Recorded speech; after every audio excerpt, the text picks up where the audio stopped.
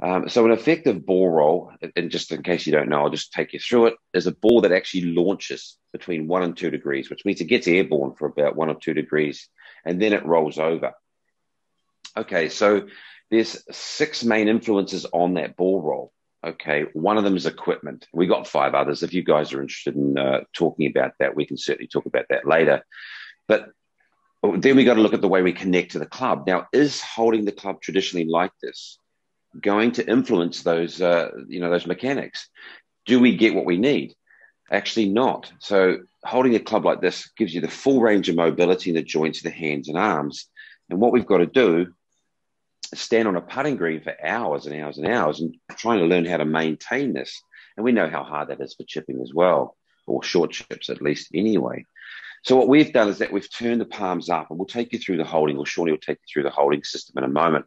We've turned the palms up so that both hands antagonize each other.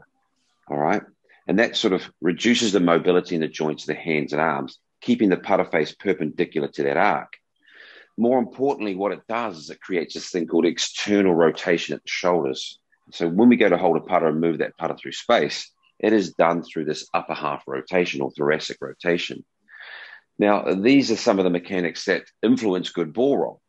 Um, so we are saying that if you want to hit good, you know, a good putt, a ball that rolls effectively, then here's a science that supports that. We're not saying it's the only way to hold a putter. If you want to stand on a putting green and learn how to control this, then you go right ahead. But we're saying if you want this as a product, then this is the science that supports it. And then from there, what we've done is designed the grip to actually be held in that way, not just from length, but for width and for height and the pitch the pitch, all those sort of things are important to stop these palms coming back together again. We don't want this, what we call radial roll. Once the palms get, get back together again, um, we've got all that mobility.